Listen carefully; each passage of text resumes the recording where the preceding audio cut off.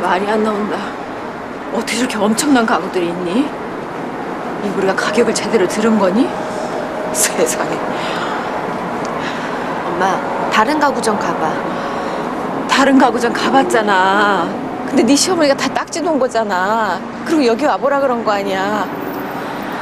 어떻게 엄마? 어떡하니? 가봤니?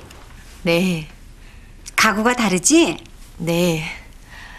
그런데 너무 엄청나더라고요. 그래 그 집 가구는 그 값을 해 그래서 골랐니? 어머니, 이건 안 될까요? 그 가구는 가격이 너무 비싸서 다른 가구점을 돌아다녔어요. 이 가구도 이태리 수입인데 괜찮은 것 같더라고요. 뭐? 너무 비싸서 다른 가구를 봤다고? 겨우 옷장하고 경대 침대 그거 세 가지 하면서 지금 그것도 못 하겠다는 거니? 값이 너무 엄청나던데, 어머니. 너 무슨 배짱으로 우리 집에 시집 올 생각을 한 거야? 그런 정도도 못 해올 거면서?